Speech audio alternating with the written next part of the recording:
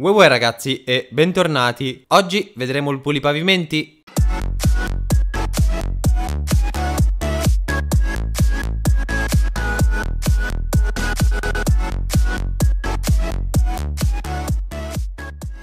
Arma d'assalto Art Deco, versatile fucile d'assalto adatto a qualsiasi contesto di battaglia. Garantisce massima precisione se usato col mirino in raffiche controllate. Allora ragazzi, il nostro pulipavimenti in questo caso siamo andati a farlo di elemento fuoco perché la sua ultima perk infligge il 44% di danni bonus contro contro i nemici elementali di tipo natura. Abbiamo percato questo pulipavimenti comunque con un doppio livello critico e un doppio danno critico, ciò comunque darà modo ai 30 colpi di avere più probabilità critica, quindi magari più colpi del solito rientreranno critici. Così comunque l'arma raggiunge una probabilità del colpo critico del 51%, quindi leggermente sopra la metà. E senza perk di ricarica, senza perk di caricatore, comunque ha un tempo di ricarica di 2,3 secondi, diciamo neanche troppo lungo, ce lo facciamo bastare in questo caso. E 30 colpi in ogni caricatore. Comunque la vera domanda da porsi con queste armi è, vado a sfruttare l'ultima perk, quindi con i danni maggiorati in questo caso con contro i nemici natura e vado quindi a percare l'arma con l'elemento fuoco per ottenere un danno maggiorato contro appunto gli elementi natura? Oppure semplicemente vado a percarla normalmente e utilizzo l'ultima perk come se fosse un'ultima perk qualunque. Quindi intendo farla d'energia e utilizzare l'arma sempre ma appunto sfruttando i danni maggiorati contro gli zombie di elemento natura là dove e soprattutto quando posso. Beh personalmente personalmente ragazzi io posso contare su un set di armi abbastanza esteso fortunatamente. E sarò sincero sincero con voi, non vi mentirò, la maggior parte dei miei progetti diciamo che comprende l'elemento fisico oppure energia. Diciamo che molti set tendo sempre a lasciarli appunto utilizzabili con qualsiasi build, a parte i set dove non è possibile cambiare le perk. Faccio esempio comunque del set tubo vuoto piuttosto che il set black metal. Ecco, questo set ce lo vedo bene come quel set da fare con tutte le armi di tipo elementale, ma tutte le armi differenti, quindi ogni arma con un elemento differente. Ovviamente come mi capita, certo avrei anch'io le mie preferenze, parlo per per esempio del lanciarazzi di ieri dove mi sarebbe piaciuto comunque trovarlo piuttosto che ad acqua di natura. Parlo anche per questo R che in questo caso lo sono andato a percare di fuoco perché ovviamente utilizza i danni maggiorati contro gli zombie di tipo natura ma mi sarebbe piaciuto trovarlo con l'ultima perk che boostasse i danni o contro i nemici d'acqua o contro i nemici di fuoco. Semplicemente perché ho già tantissime armi di fuoco quali le armi black metal, lo scavafosse appunto e se posso dirvi la mia anche la spada. La spada essendo una spada spammabile e ok io personalmente ancora non l'ho trovata, ma l'ho utilizzata di elemento fuoco perché chi l'ha trovata l'ha trovata con i danni boostati contro gli zombie di natura. Ecco, e non sto dicendo che sia sbagliato, sto dicendo che magari è leggermente scomodo. Voi ogni volta che vorrete spammare l'attacco secondario, ovviamente in mischia perché comunque è una spada, quindi si suppone che comunque venga utilizzata quando ci sono tantissimi zombie attorno a voi, beh, averli tutti di natura diciamo che se vi colpiscono vi tolgono la stamina e molte volte è molto fastidioso. Per quello, anche la spada punterei di più a trovarla con con i danni boostati contro gli zombie di tipo acqua oppure anche contro quelli di tipo fuoco va benissimo. Vabbè, ma quello poi lo vedremo in un altro video e nel prossimo episodio soprattutto. Questo è il video sul pulipavimenti, una R veramente eccezionale comunque se devo dire la mia. Non mi dispiace affatto, devo dirvi che comunque ha un bel danno critico, entrano comunque abbastanza spesso ed è molto ragionevole. Diciamo che la descrizione già descrive il 90% di quest'arma. È un fucile versatile come la descrizione del bulldozer adatto a qualsiasi contesto di battaglia, quindi già sappiamo cosa aspettarci da un'arma del genere, no? La descrizione però ci diceva anche garantisce massima precisione se usato col mirino in raffiche controllate. Quindi mi raccomando, quando utilizzate quest'arma a distanza non state lì a sprayare con tutti i colpi consecutivamente, ma prendete sempre una piccola pausa tra una raffica e l'altra, in modo da ottenere una precisione più precisa. Si può dire una precisione più precisa? Maggior precisione. Comunque adesso, tralasciando i discorsi dell'elemento e anche comunque l'ultima perk, nel suo piccolo questo fucile d'assalto risulta veramente versatile veramente in tantissimi contesti. Sia utilizzarlo contro gruppi di zombie, sia utilizzarlo contro gli smasher, sia comunque utilizzarlo a una distanza meglio ravvicinata piuttosto che da una lunga distanza, l'arma sarà sempre uguale. Certo, sulla lunga distanza magari andiamo a perdere un po' di precisione, ma come ci fa intendere la descrizione vi basta prendere un po' di pausa. Ma col seno di poi comunque anche se utilizzata a raffica quest'arma, quindi senza prendere le pause, sulla lunga distanza devo dire che non va a perdere molto, cioè ci sono armi molto peggiori per quanto quanto riguarda comunque il rinculo. Ho deciso comunque di optare per il doppio livello critico e il doppio danno critico in quanto secondo me quest'arma non ha bisogno di una velocità di ricarica. Certo non nascondo che in molte situazioni sarebbe comodo ricaricare leggermente più velocemente, ma in questo caso comunque non è così fastidiosa come molte altre armi, diciamo che 2,3 secondi possono anche bastarci, ce li facciamo andare bene e soprattutto così otteniamo un danno più equilibrato, ma soprattutto un livello critico più equilibrato. E ragazzi, questa è l'arma, secondo me nel suo complesso è un'ottima arma, assolutamente da non farsi scappare. Voi cosa ne pensate? Fatemelo sapere con un commento qui sotto. Io comunque ragazzi vi ringrazio di essere arrivati fino a qui a guardare il video, vi ricordo che se volete supportare la crescita di questo canale vi basta inserire il codice KinoTV nell'item shop di Fortnite. E per oggi è tutto, noi comunque sappiate che ci vediamo con il prossimo episodio che dovrebbe essere domani. Questa settimana comunque faremo anche delle live, quindi vi consiglio di attivare solamente la campanella a questo canale. E niente, per oggi è tutto. Noi